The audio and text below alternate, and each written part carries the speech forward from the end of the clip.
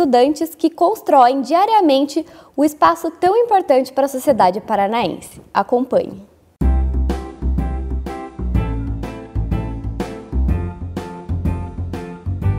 O setor de Ciências da Terra, criado em abril de 1998, agrupa os departamentos de Geografia, Geologia, Geomática e o Centro de Estudos do Mar. Os cursos de graduação em Geografia, Licenciatura e Bacharelado, Geologia, Engenharia Cartográfica e de Agrimensura concentram-se em Curitiba, enquanto o Pontal do Paraná abriga o curso de Oceanografia e, mais recentemente, a expansão da UFPR levou para o litoral os cursos de Engenharia de Aquicultura, Engenharia Civil, Engenharia Ambiental e Sanitária e a licenciatura em Ciências Exatas, atendendo aproximadamente 1.500 alunos.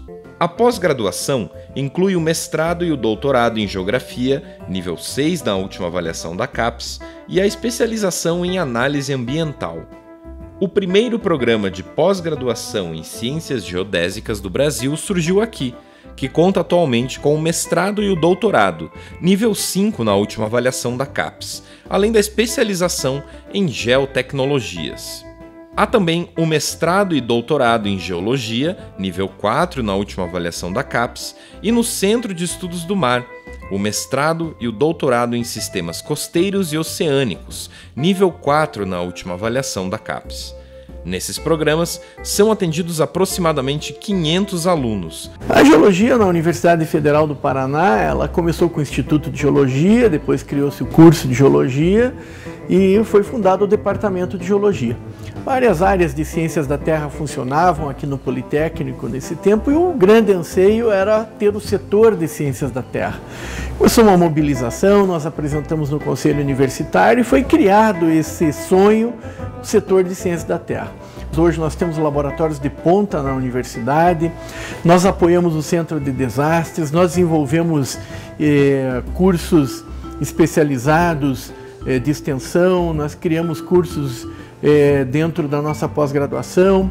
É um sentimento de emoção, é um sentimento de contentamento, de realização, porque veja, nós atendemos tantos alunos de tantos outros cursos, formamos engenheiros cartógrafos e agrimensores, temos ótimas pesquisas no nosso curso de pós-graduação, e isso tudo graças a, a, a esses investimentos se é fantástico. Para comemorar 20 anos do setor de ciências da Terra, 80 anos do curso de Geografia de graduação e 21 anos da pós-graduação em Estudo Censo é motivo de completa comemoração que, apesar das adversidades do tempo, o conjunto de professores, de estudantes e dos técnicos administrativos fizeram na Universidade Federal do Paraná a constituição de um grupo que, em geografia, é considerado um dos cursos de destaque no Brasil, é reconhecido no exterior pelas parcerias internacionais. O atual Centro de Estudos do Mar é uma grande aventura científica e acadêmica dessa universidade.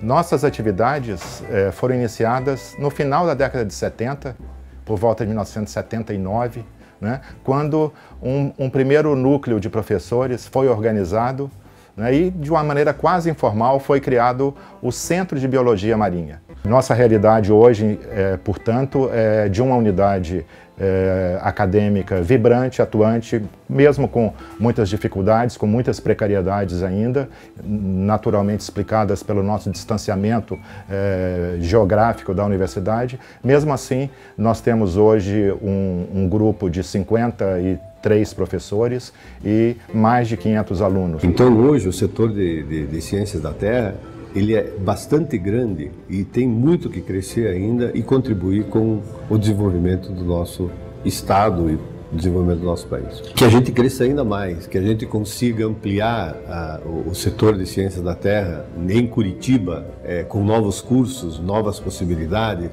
Nós podemos sugerir novos cursos, nós temos cursos prontos para quando vier um novo edital para serem propostos, como meteorologia, é uma proposta que a gente tem e, e, e isto, isto está pronto e, e, esperando novas oportunidades para que a gente possa crescer e, e ofertar à sociedade profissionais com um grande padrão, com, com uma formação bastante sólida.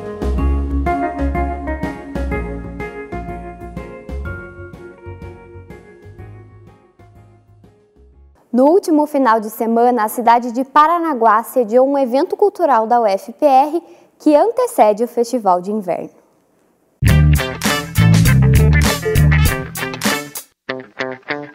No último final de semana, aconteceu o circuito Cultura e Arte, em Paranaguá. O evento precede o 28º Festival de Inverno da UFPR, que acontece em Antonina e visa a abertura de espaços de aprendizagem, reflexão crítica, apreciação e produção artístico-cultural.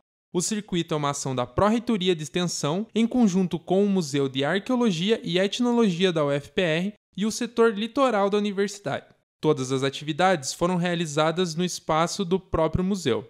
Na sexta, dia 18, aconteceu a abertura do evento com a exposição Direitos para Quem, realizada por alunos do curso de Design da UFPR, e a apresentação Aquela que é, da Companhia de Dança Tessera, também da universidade. O pró-reitor de Extensão e Cultura participou da abertura do evento e destacou o papel do circuito no litoral. A ideia desses circuitos é a gente, em primeiro lugar, né, não só preparar toda a comunidade, tanto para dentro da federal como para fora, para o Festival de Inverno, mas também mostrar o que a universidade tem feito nesse campo da área das artes da cultura. Né? Então a gente tem aproveitado os nossos espaços aqui no litoral e pensado e refletido sobre o quanto a gente tem produzido sobre a arte no litoral, mas não só sobre a arte no litoral, como essa arte, essa cultura dialoga com o litoral. No sábado e no domingo também tiveram outras atividades, como a apresentação do grupo folclórico Boi Barroso, exibição de filme e atividades voltadas ao público infanto-juvenil. O circuito ainda prevê mais ações que devem acontecer entre os dias 15 e 17 de junho em Matinhos. Nesse sábado acontece o espetáculo While You Sleep, idealizado pelos bailarinos Gabriel Braga e Kat com Leandro, dos Estados Unidos. A apresentação é um trabalho contemporâneo e sensível e que envolve a presença de vários artistas da dança. O espetáculo será às 8 da noite no Teatro Fernanda Montenegro. As entradas custam entre 20 e 40 reais. Quer saber mais sobre outros eventos desse final de semana? Dá uma olhada na nossa agenda cultural.